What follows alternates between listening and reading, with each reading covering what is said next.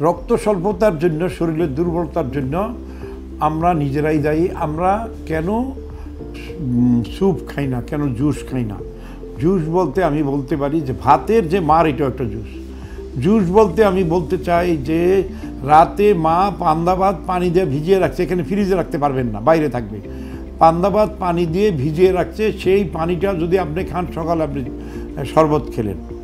আপনি কেন করলা উস্তা এগুলিকে ব্লান্ড করে খাচ্ছেন না? সকালে খালি পেটে। আপনার জীবনে ডায়াবেটিস হবে না, প্রেশার হবে না, শরীর জ্বালাপোড়া হবে না। আপনি কেন বেলের সিজনে বেলের শরবত খাবেন না? আপনার পেটটা ওয়াশ হয়ে যাবে। আপনি খাবারের সাথে অবশ্যই অলিভ অয়েল খেতে হবে।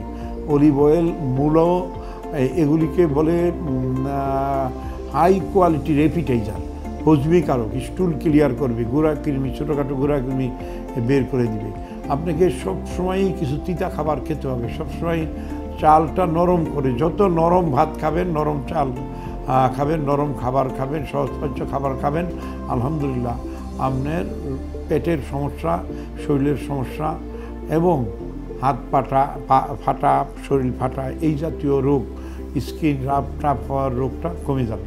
আর ধীরে ধীরে অনেক চিবিয়ে চিবিয়ে চিবিয়ে চিবিয়ে আস্তে আস্তে খাবার খাওয়ার অভ্যাস করলে আপনার শরীরের দুর্বলতাটা কমে যাবে।